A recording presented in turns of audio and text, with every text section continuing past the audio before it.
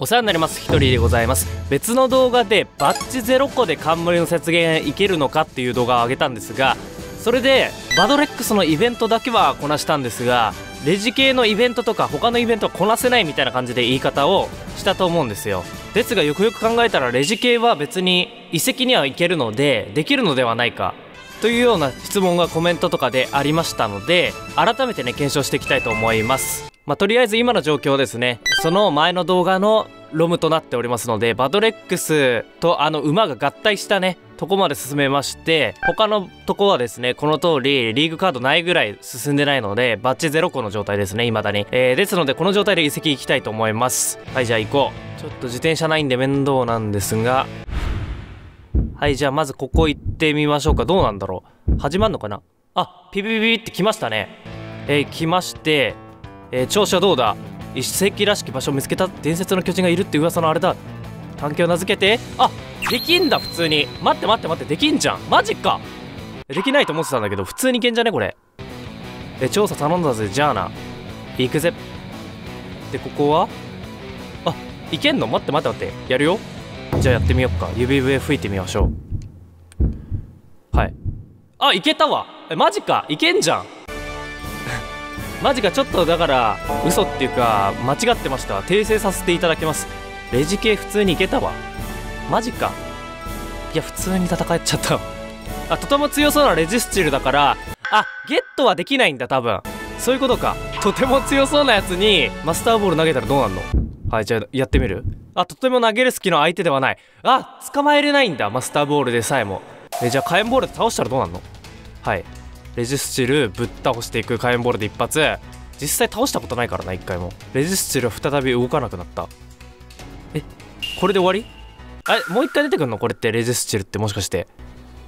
待って待って。あ何度でも出てくんだ。知らなかったそれも。倒しちゃったら何回でも戦えんのね。知らなかったこれ地味に。次レジアイスゲットしようと思ってるんですがまずフリージを自分でゲットできないので交換していきましょうか。冠雪原の方では捕まえることは多分レベル的に不可能なので交換でやるしかないですね。はいこの通り来ましたと。ついでに変わらずの石も持たせておきました。つかマジこの絵自転車なしで行くのしんどいわ。めちゃめちゃ長いわ。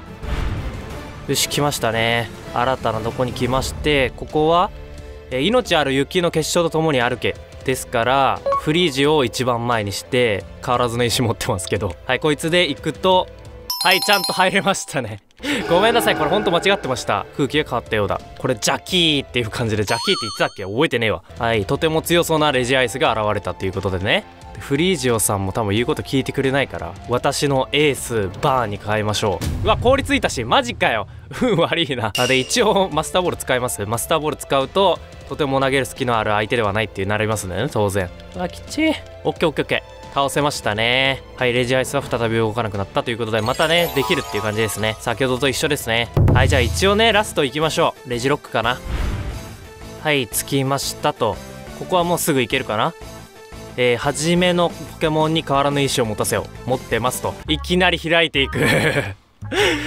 解読せずとも開いていく。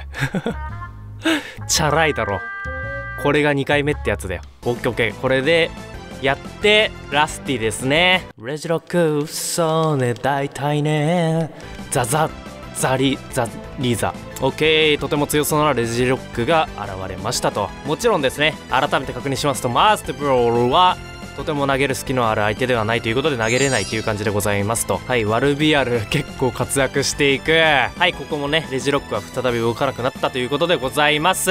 でちなみにですけどレジエレキとかはこの三俣ヶ原ですか？ここにおりますのでそもそもこう水のとこ通らなきゃいけないのでまずバッチ0個ではいけないっていうのがまずありましてそれでそもそもレジロックとかレジスチルとか全部揃えていかないといけないんでまあそれも揃えられないという感じでございますのでですのでゲットすることも倒すこともできないという状態でございますと。ということで検証結果としてはレジ系に会えるけど捕まえることはできないっていう感じですね。捕まえられない理由としてはもともとのそのジムリーダーとかの制限みたいな感じで捕まえれないってことですね。まあなので私別の動画でね多分ねレジ系とかは全くできないみたいなことを言ってましたけど一応ちょっとはできるみたいなでも先に進むことはできないみたいな感じですね。まあこれを知ったからってね人生に何の影響も与えませんがこの悩みが消えることでレジ打ちとかが早くできるのではないでしょうか。